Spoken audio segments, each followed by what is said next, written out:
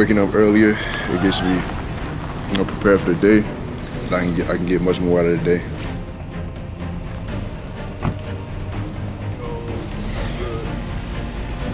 6 a.m. workout. Strength and conditioning with my, my trainer for four years.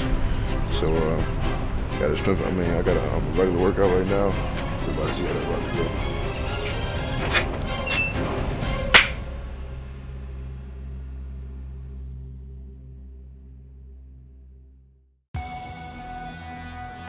Kahlil Whitney, I've been working out with him since eighth grade. So I got the right hand in the first three, and now cross up this one, and now the left hand for the next three. Oh, he's nowhere close to reaching his potential yet. He's gonna have a very good year at Kentucky this year. He also is one of the hardest workers at Kentucky already. He's up early in the morning, he's in the gym late at night, always working to improve his game. It helps me. I've been doing this since I was in seventh grade, so I mean, I'm just putting in work every day. You know, this, this, this is what I live by, you know. Can't cheat the game. Uh, come in here, get better, so it can be easier for me on the court. Slide to the corner, three. Up on the wing, three.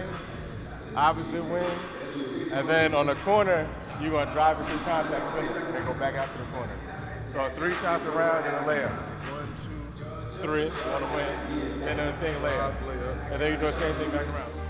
We've been working since eighth grade, so we worked a lot on ball handling, shooting, conditioning, shooting off the dribble.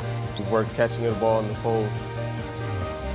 An elite scorer, really long, really athletic. He jumps out the gym. You're not gonna find many people in the country who can jump like he can.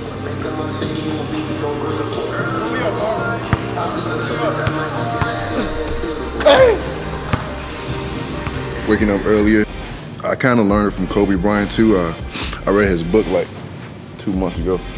He's basically saying that he gets up real early so he can he can multiply his workouts and get ahead of everybody faster.